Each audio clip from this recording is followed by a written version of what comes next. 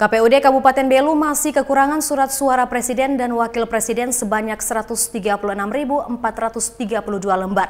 Kekurangan ini dikarenakan kerusakan. Pemilihan umum serentak 17 April mendatang tinggal menyisakan beberapa hari. Segala persiapan pun terus dilakukan petugas KPU Kabupaten Belu, mulai dari penyortiran surat suara hingga kesiapan kotak suara. Meski demikian, pihak KPUD Kabupaten Belu masih mengalami kekurangan surat suara. Sebanyak 136.432 surat suara di antaranya.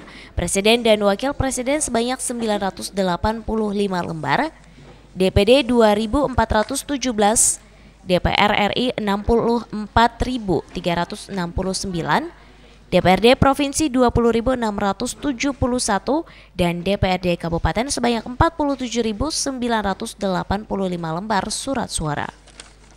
Untuk mengatasi kekurangan surat suara akibat kerusakan tersebut, KPU Belu sudah meminta pihak percetakan untuk mengganti surat suara yang dinyatakan rusak. Namun hingga dengan hari ini surat suara yang rusak belum juga diganti.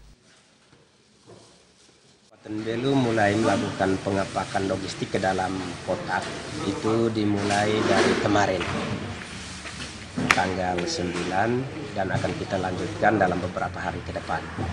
Fokus pengepakan kita adalah untuk kecamatan-kecamatan yang terjang, terluar dengan pertimbangan akses yang agak sedikit sulit transportasinya yaitu Pihak KPU Belu berharap sebelum Hamin satu surat suara yang rusak segera dikirim sehingga dilakukan penyortiran sehingga bisa didistribusikan ke setiap TPS.